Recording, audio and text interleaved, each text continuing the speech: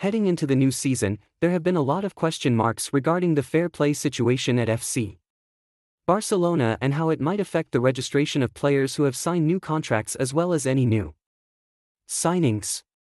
But, Barca are progressing in the right direction as the club have officially confirmed that two of the club's crown jewels, Lamine Yamal and Pau Cubarsí, have been registered as first-team players. Pau Cubarsí and Lamine Yamal are now first-team players. The two Cule players, who until now had been signed for the youth team and the reserve team respectively, have been full members of the FC Barcelona first team since Tuesday, the statement from the club read.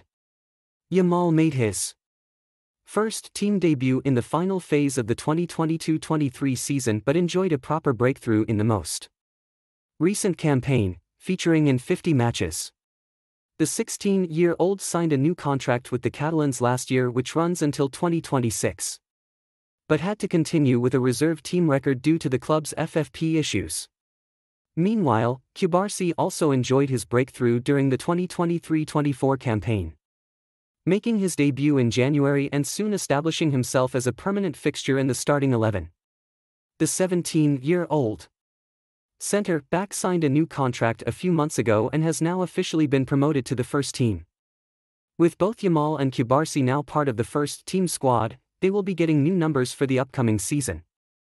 There have been talks about Yamal becoming the new number 10, but some reports suggest that he could take the number 17 shirt left vacant by Marcos Alonso's exit.